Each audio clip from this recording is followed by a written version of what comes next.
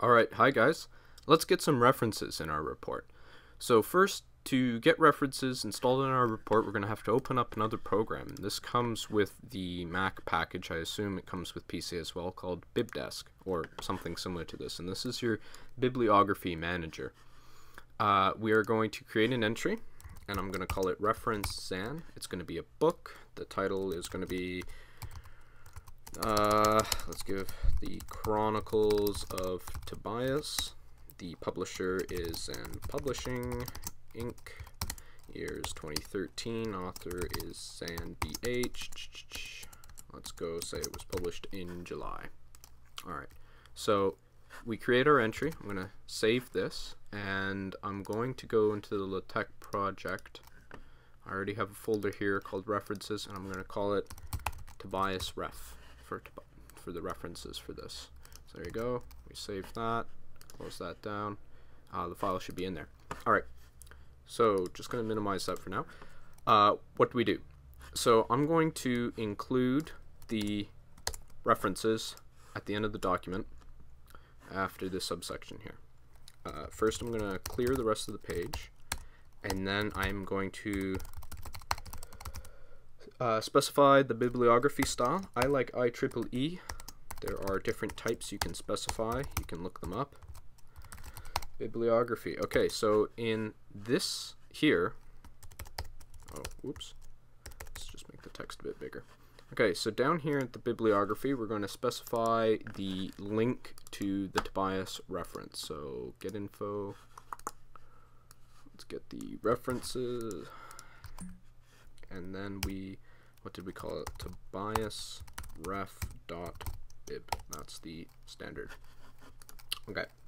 So now we built this. Now the bibliography is not going to load because we haven't, if I build this, because we haven't uh, specified a citation anywhere. So let's do that now. So uh, let's, where should I? Let's put a citation here. So the citation here is going to be Zan, just like that. And I had a table that with reference. Here we go. So cite ref Zan. So we got that going. So let's save that and let's build that. Okay, so we have built it and you'll see question mark here and you'll see question mark here and this is where the citation is supposed to go following IEEE format. And why isn't there? Because we haven't uh, run our BibTeX yet. So uh, next to typeset, here you'll have some options. Go to BibTeX and build. And you build that, and it says it's done. Just gonna, And then you go back to LaTeX and build again. References on the new page, just like I specified, page 4. The first one is the Chronicles of Tobias. Still hasn't populated where it should on the page, but one more build, and there we go. We have reference 1, and again, because we did the hyperlinking one, if you click on it, it takes you to the reference. Is that cool? Now, let's let's show what happens when we uh, get more references in play here. So I'm going to create another couple references. I'm going to call this ref2. This is going to be our second reference. Okay, I'm going to save that. And let's get another one. Let's call it ref3. Third reference. And we have our year. Okay, excellent. So now we have some references in our uh, BibDesk here. Let's enter reference 2. So where was reference 1 in a caption? I'm lost. I'm not used to reading it with the text this big. Refzan. Okay, so refzan is reference 1. What happens if, for example, I put ref 2 before ref 1, which is refzan? If I build that now, question mark, okay, cool, so let's BibDesk it. Then go back to LaTeX, build it again, and build it once more.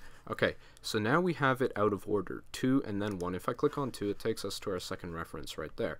Uh, the way you go about fixing that is you use a package, just like every other problem. So let's uh, create, under graphics preamble, uh, bibliography preamble, and what we're going to want to do is use a package, and it's called natbib.